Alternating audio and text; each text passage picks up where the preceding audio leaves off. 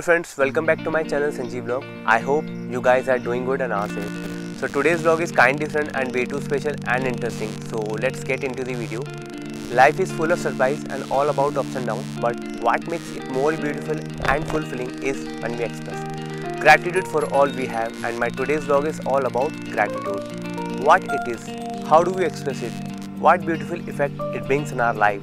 So gratitude is a way more than thank you and appreciation or something but it brings exactly from that minute point.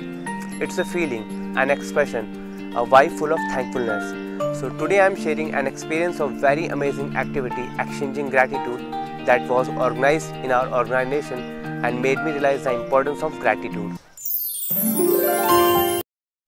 We had a wall full of colorful envelopes with a picture and name of all our employees company wide and we were given colorful sticks sheet to share compliments thank you notes and express our gratitude.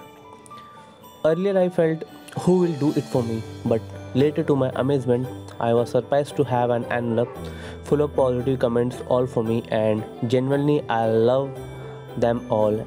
And then i decided to share mine too and that week was certainly full of positive vibes, gratitude, and happiness in our organization.